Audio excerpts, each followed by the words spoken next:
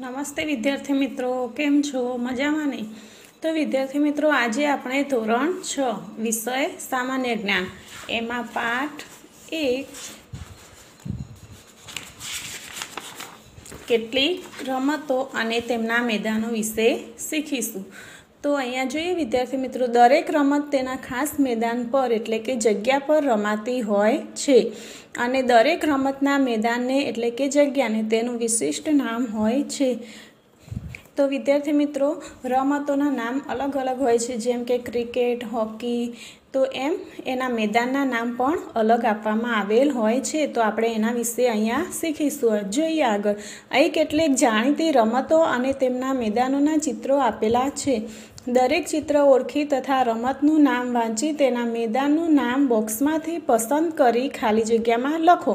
તો વિદ્યાર્થી મિત્રો, અહીંયા આપણને બોક્સમાં મેદાનનું નામ, મેદાનના નામ આપેલા છે અને નીચે મેદાનનું ચિત, રમતનું ચિત્ર છે અને રમતનું નામ આપેલું છે. તો આપણે ચિત્ર જોઈશું, રમતનું નામ વાંચીશું અને એના મેદાનનું જે નામ આવતું હોય એ આપણે ખાલી જગ્યામાં લખવાનું છે તો જોઈએ. અહીંયા જુઓ તમે બેઝબોલ રમત. તો બેઝબોલ રમતનું ચિત્ર આપેલું છે. તો વિદ્યાર્થી મિત્રો, તમે જોયું આ ચિત્ર? હા. તો બેઝબોલ રમતના મેદાનને પીચ કહેવાય છે. તો આપણે ખાલી જગ્યામાં શું લખીશું વિદ્યાર્થી મિત્રો? પીચ હવે આગળ બીજી રમત, વોલીબોલ રમત. તો આ વોલીબોલ રમતનું પણ અહીંયા ચિત્ર આપેલું છે. તો તમે જુઓ વિદ્યાર્થી મિત્રો આ ચિત્ર. અહીંયા ખેલાડીઓ વોલીબોલ રમત રમી રહ્યા છે. તો આ વોલીબોલ રમતના મેદાનને કોર્ટ કહેવાય છે. તો આપણે ખાલી જગ્યામાં શું લખીશું વિદ્યાર્થી મિત્રો? કોર્ટ. ત્રીજી રમત, હોકી રમત.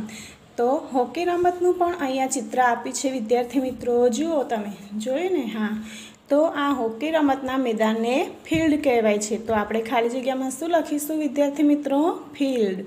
હવે આગળ ચોથી રમત ક્રિકેટ. તો અહીંયા ક્રિકેટ રમતનું પણ ચિત્ર આપેલું છે. ખેલાડીઓ જો ક્રિકેટ રમી રહ્યા છે. તમે ક્રિકેટ તો વિદ્યાર્થી મિત્રો ટીવી પણ, ટીવી પર પણ જોતા હશો. જુઓ છો ને? હા. તો આ ક્રિકેટ રમતના મેદાનને ગ્રાઉન્ડ કહેવાય છે. તો આપણે ખાલી જગ્યામાં શું લખીશું? ગ્રાઉન્ડ. હવે આગળ જોઈએ.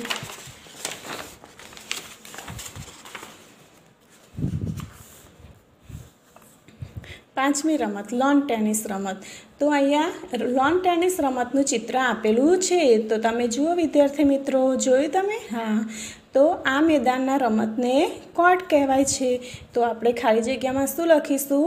કોર્ટ હવે આગળ જોઈએ બેડમિન્ટન રમત છે.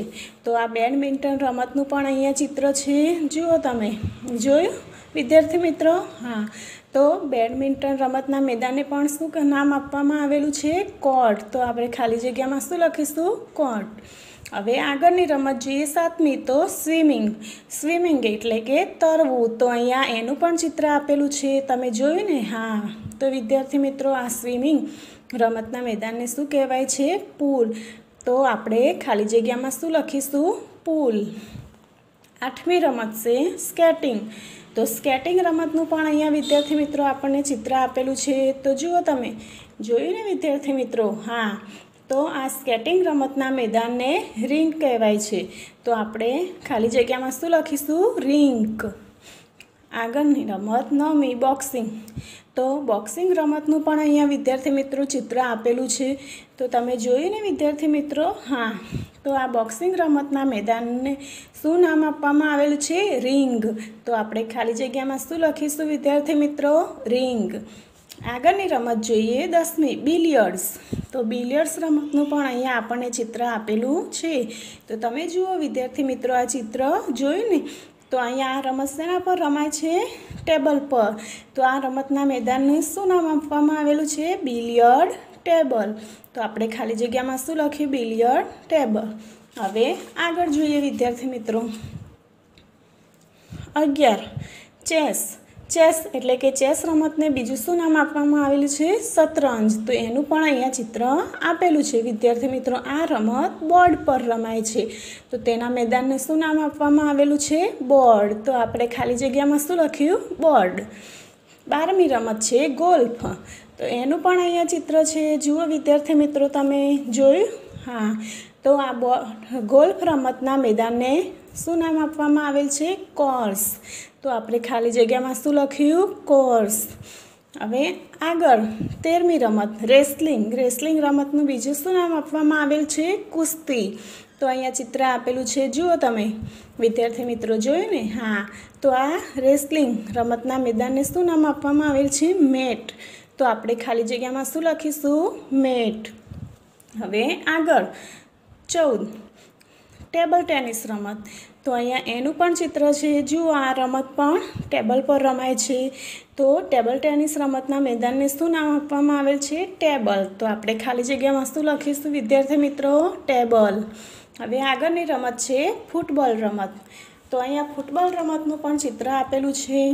તો વિદ્યાર્થી મિત્રો, આ ફૂટબોલ રમતના મેદાનને ગ્રાઉન્ડ નામ આપવામાં આવેલ છે. તો આપણે ખાલી જગ્યામાં શું લખીશું? ગ્રાઉન્ડ. આગળની જોઈએ સોળ, બાસ્કેટબોલ રમત. તો બાસ્કેટબોલ રમતનું પણ અહીંયા ચિત્ર આપેલું છે, વિદ્યાર્થી મિત્રો. જુઓ તમે, જોયું? હા. તો આ મેદાનને કોર્ટ નામ આપવામાં આવેલું છે. તો આપણે ખાલી જગ્યામાં શું લખીશું, કોર્ટ.